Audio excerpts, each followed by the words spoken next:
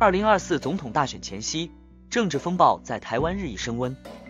国民党副总统候选人赵少康于二零二四年一月三日赴宜兰辅选期间，爆出惊人指控，指陆军四支部弹药库左营弹药分库计划在军营附近五公里范围内寻找民宅、地下室、仓库存放战备弹药。赵少康以手机公文作为证据，声称民进党政府正密谋准备战争。引发社会各界热烈讨论。根据赵少康提供的公文内容，陆军试图在城市民宅等处囤积弹药，以便在战时快速获得补给。他愤怒地表示，这举动显示民进党的战争准备工作已进入实质阶段。这一说法随即在社群媒体上引发广泛争论，许多民众对于可能身处弹药库附近感到忧虑和恐惧。高雄市立委候选人陈美雅也接到民众反映。收到军方调查弹药预囤地点的公文，赵少康质疑民进党为何要在军事基地附近找地点放弹药，并问道：“这不是要准备战争吗？”他表示，这种做法将使台湾全境成为潜在战场，且严重损害国内投资环境。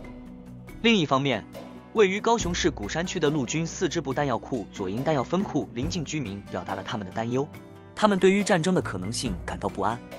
并希望政府能避免将战争带到台湾。针对赵少康的指控，第四战区随后发布声明澄清，表示相关规划仅为提升后勤支援韧性的演练运用，并无实际放置弹药的计划。该声明虽然稍稍平息了民众的不安，但关于台湾未来的安全与和平，仍是众多民众关注的焦点。赵少康的这一指控，无疑为即将到来的总统大选投下了一颗震撼弹。他的言论不仅引发了对于国防政策的关注，也让许多台湾民众对于未来的安全与和平产生了担忧。随着选战的热度日益升高，这些争议与问题势必将成为选民投票时的重要考量因素。大家对于这件事有什么看法？欢迎留言讨论哟！感谢收看 Li News，每天给你最新最好料新闻报道。欢迎订阅我们的频道，按赞分享，开启小铃铛。随着二零二四年台湾总统大选的临近，各方关注的封关民调结果陆续公布。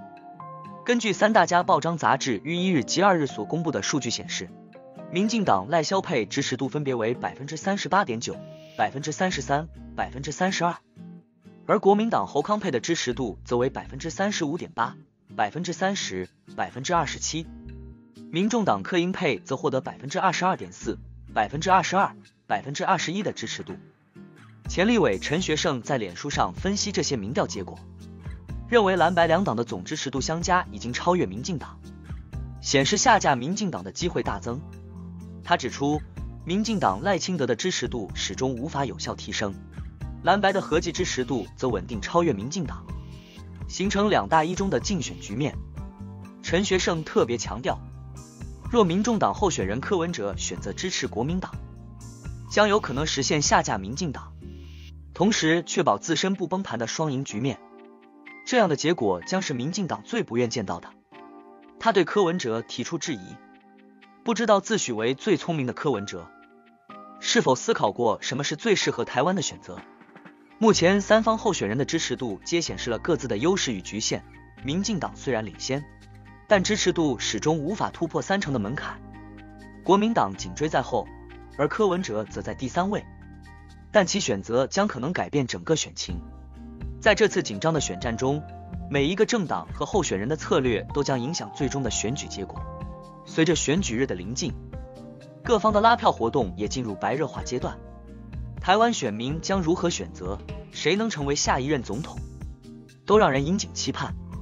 这场选战不仅是候选人的较量，也是台湾民主政治的一次重要考验。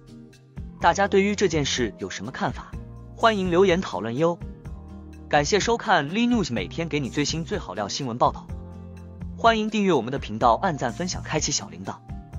民众党不分区立委候选人黄国昌、张启凯与柯文哲全国竞选总部召开记者会，对于近日柯文哲提出的政见和立法院长人选问题进行回应。黄国昌表示，民众党重视国会改革，非单一人选问题。而是聚焦于国会整体的提升和透明化。在回应媒体提问时，黄国昌提到，选战进入倒数阶段，民众党将更加关注国会的实际改革，而非仅仅围绕在立法院长人选上。他指出，过去蔡英文总统和朱立伦曾提出国会改革的承诺，但这些政见并未实现。民众党将致力于推动这一目标。张启凯在会上补充说明，民众党将优先考虑对人民有利的方案，包括国会的运作方式和立法透明度。他也提到，选举结果出炉后。民众党将与有意竞选立法院长的候选人进行沟通，以确保国会改革的方向。此外，针对柯文哲近日称韩国瑜比王金平更可靠，并表示在有条件的前提下推选韩国瑜为立法院长，黄国昌强调这只是柯文哲个人的看法，民众党将根据选举结果和国会改革的实际需要做出决定。在提及如何拉拢年轻选民的问题上，陈志汉表示。民众党通过多元化的沟通方式，包括公开信、记者会和造势活动，努力说服不同年龄层的选民。他认为，政治是一个相互说服的过程。民众党将持续努力赢得更多选民的支持。综合以上，民众党在这次选战中将重点放在国会改革上，希望推动立法机构更加透明和高效。对于立法院长的人选问题。民众党将在选后进行详细的讨论和决策。大家对于这件事有什么看法？欢迎留言讨论哟！感谢收看 Li News，每天给你最新最好料新闻报道。欢迎订阅我们的频道，按赞分享，开启小铃铛。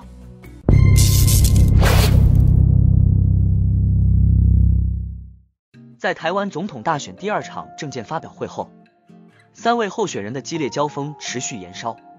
国民党候选人侯友谊的感言环节中出现了一个特殊手势，引发网友热烈讨论。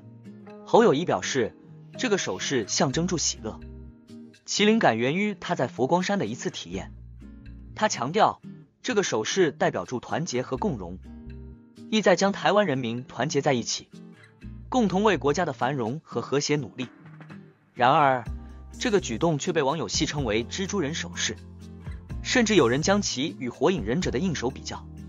与此同时，民众党候选人柯文哲在政见发表会后表示，终于回归到政见的核心讨论。他回应对手赖清德的批评，指出自己对于台湾能源问题的立场是基于谨慎的考量，并非总是立场模糊不清。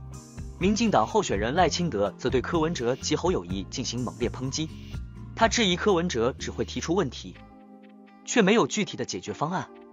此外，赖清德也对侯友谊提出批评，指其两次散布关于社会住宅的假讯息。赖清德强调，自己在担任行政院长期间已有针对社会住宅的具体规划，并期待蔡英文总统能在任期结束前完成相关政见。此次总统大选的第二场政见发表会，不仅是候选人政见的展示，也成为了他们相互攻防的舞台。从侯友谊的喜乐手势到赖清德对柯文哲的痛批。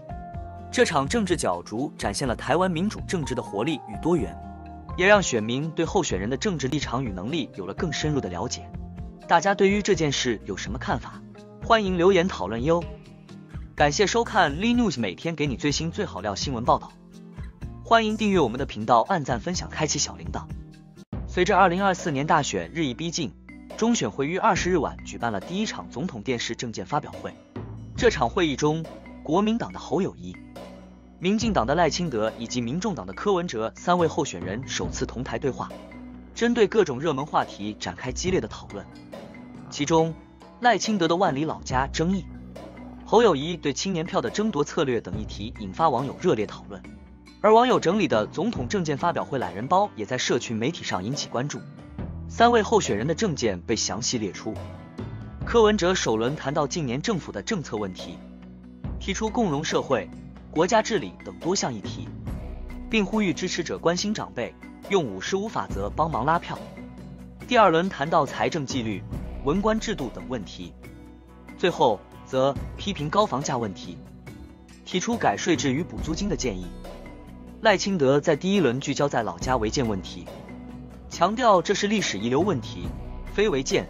他提出解决方案，并批评对手侯友谊和柯文哲的相关问题。第二轮则强调民进党执政的政绩，批评对手政见的实践可能性，侯友谊则在三轮中一贯强调恢复特侦组来彻查弊案的重要性。他强调自己没有贪污，表示上台后将侦办到底。网友对于这场政见发表会的看法不一，有人认为只有柯文哲在认真发表政见，而其他两位候选人则在吵架。一些网友直言，只有一个在发表政见，另两个在权上感谢精准整理政见发表会不讲政见。然而，也有不满的声音出现。对此，也有网友认为应该更客观的看待候选人的政见。我是觉得这样不好了。虽然柯政见最多，此次的政见发表会不仅是候选人展现其政治理念和政策方向的舞台，也是公众评估他们能力和领导才能的重要时刻。